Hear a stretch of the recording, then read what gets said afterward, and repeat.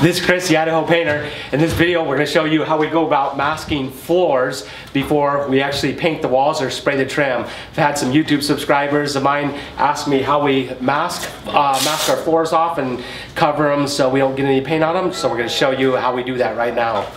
So we're in this house and we're spraying the baseboards in this house only and then we're rolling our walls and we're not painting the ceilings. So we're going around and we're running uh, nine inch paper and one inch tape around to give us um, uh, the masking onto the floor so we don't get any overspray on the floor. And then we're putting our drop cloths over the top of that.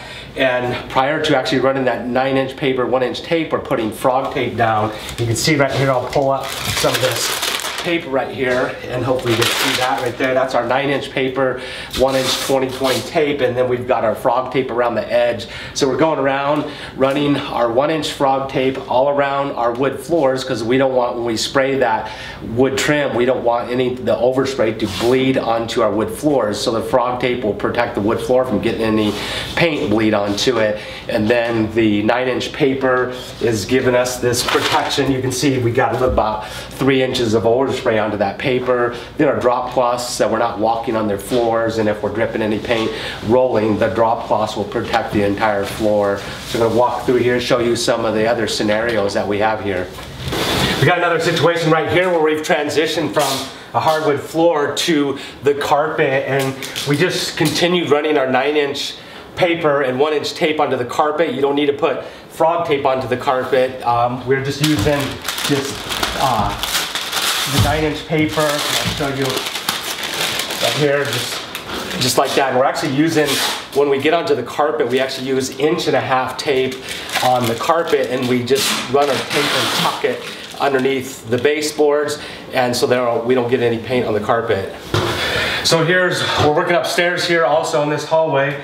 We've run just nine inch paper and inch and a half tape tucked uh, tape down underneath the baseboards along the carpet and we're using a method that I actually have a video that shows you how to tuck and uh, uh, use one in, inch and a half tape masking carpet. You can check out that video right here and that will show you the technique that we use the um, to actually tuck it in to get it underneath your baseboards and go up and down stairs and so forth situations like that with your tape. We got it all masked here. We've sprayed these baseboards right here and then we're gonna be rolling these walls and we're gonna be laying drop cloths down up here before we roll these walls.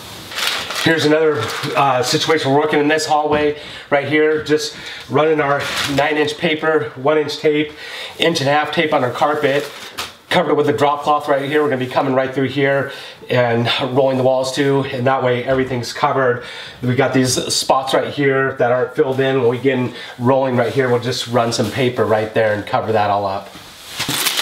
Masking these hardwood floors and getting ready to spray. I'll be showing we just taken we just take frog tape. We did have some yellow frog tape that we used on here. That's for delicate surfaces. We're just using it to get rid of some of it that we had, but typically use the green frog tape and we're just running it along our hardwood floor just like this and you want to get extremely tight to your baseboard so you don't get any overspray on that hardwood floor. You want to get it really tight down there and this is the, the most critical step when it comes to painting trim, especially on a hardwood floor. And then once that tape is down, then we're going back over it with nine, nine inch paper and one inch 2020 tape and just going right back over the top of it like that. And then once we get all our paper run around our hardwood floors, then we just go back and just lay our drop cloths down over the top of that. And um, when it comes to the carpet, we actually just, instead of using frog tape, we're gonna use inch and a half tape to run along our carpet, tuck it underneath the baseboards, then we're gonna go over it with our uh, 3M hand masker with one inch tape and nine inch paper.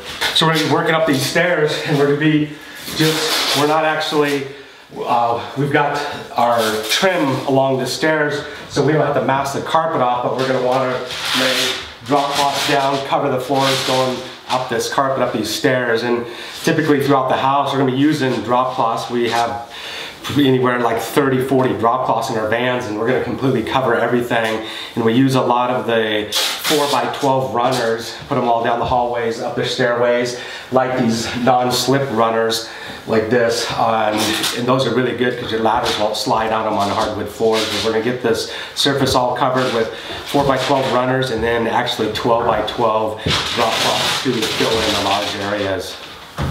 So once again, when it comes to covering the floors, we're just using a lot of drop cloths and we're using a 3M hand masker with one inch 2020 tape on the hand masker, nine inch paper. We're also using inch and a half tape for our carpeted areas and we're using green frog tape on all of our hardwood floor areas. And then one of the other things is it's, it's not the floors, but then we're covering all of our furniture and, uh, and anything out in the middle of the floors with actual just plastic, nine by 400 plastic.